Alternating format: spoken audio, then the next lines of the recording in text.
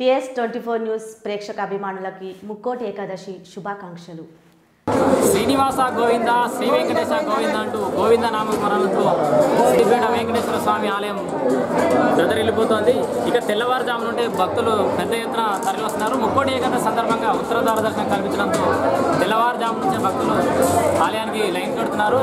ఒక పోలీసులకు పటిష్ట బందోబస్తు కూడా ఏర్పాటు చేశారు. అంగరంగ వైభవంగా కూడా విస్తాపు చేశారు ఆలయాన్ని.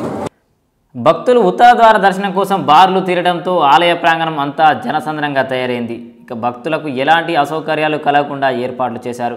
ఇక ఆలయ ప్రాంగణాన్ని అంగరంగ వైభవంగా ముస్తాబు చేశారు. ఏ సంఘటనలు జరగకుండా పోలీసులు కట్టుదిట్టమైన ఏర్పాట్లు చేశారు. శ్రీమన్నారాయణ.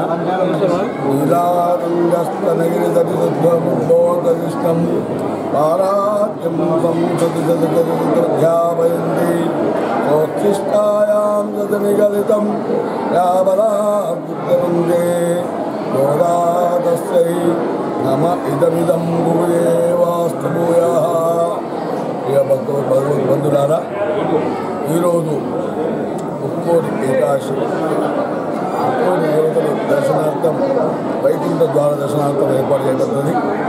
ఈ వైకుంఠ ద్వార దర్శనం నుండి వచ్చిన భక్తులకు అన్ని ఆరోగ్యాలు ఆరోగ్యాలు అన్నీ తొలగిపోయి నిర్విఘ్నంగా ఉంటారని ఆ భగవంతుడు తెలియజేశారు.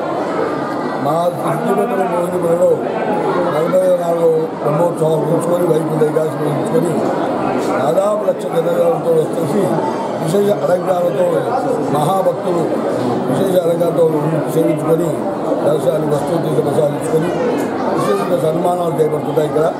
భక్తులు అధిక సంఖ్యలో వచ్చేస్తున్నారు అందరూ తీర్థ ప్రసాదించుకుని ప్రశాంతిగా చేస్తున్నారు సుమారుగా లక్ష సుమారుగా లక్ష జనం వస్తారు. ముందు ముందు ప్రతి సంవత్సరం కూడా లక్ష లక్ష పెరుగుతూనే ఉన్నారు. అన్ని విధాల నీటి వసతులు కానీ ఆరోగ్య విషయం కానీ దేవాలయం అధికారులు కార్యనిర్వాహకులు గారు చైర్మన్ గారు భక్తులు భక్తులకు నీటి వసతి ప్రసాదాలు అన్ని వసతులు కూడా ఏర్పాటు చేశారు. బీజేపీలు మినిస్టర్లు మంత్రులు వస్తున్నా కూడా వారు స్వాగతం పలుకుతూ విశేష దర్శనాలు ఇచ్చి వారు మంగళాశాసనం చేస్తున్నారు. జయిస్తున్నారు చేత ప్రతిష్ఠింపబడినటువంటి దేవాలయం చాలా ప్రశస్తి కలిగినటువంటిది. మీకు కూడా తెలిసిందే మన ముఖ్యంగా మన తెలంగాణ రాష్ట్ర సమితి హరీష్ రావు గారి నియోజకవర్గానికి సంబంధించినటువంటి దేవాలయం.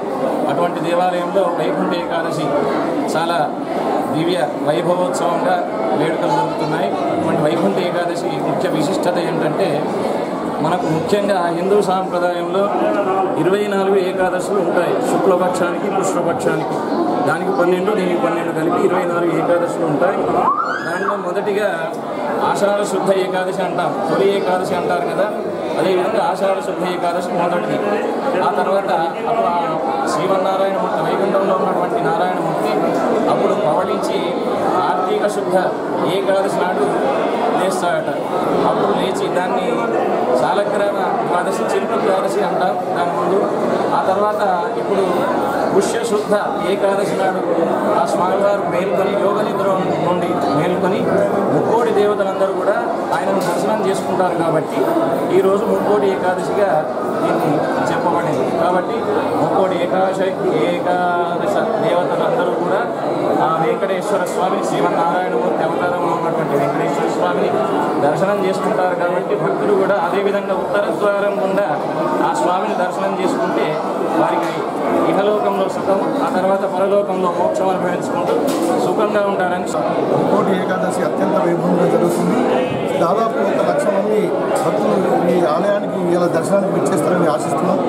ఈ భక్తులకు ఎటువంటి అసౌకర్యం కలగకుండా ఐదు లైన్ల ద్వారా ఏర్పాటు చేయడం జరిగింది. ఆయన ఆరోగ్యం పరంగా కానీ వాటర్ పరంగా కానీ స్వామివారి యొక్క దర్శనానికి వచ్చే ప్రతి భక్తుని కూడా అందించడానికి మా సాయశక్తులను మేము కృషి చేస్తూ ఉన్నాం. దేవాలయ కమిటీ అందరూ కూడా దేవాలయం ద్వారా మీ అందరికీ కూడా మేము చేసే ఈ సేవలు వినియోగించుకొని స్వామివారి యొక్క కృపకు పాత్ర కావాలని కోరుతున్నాం.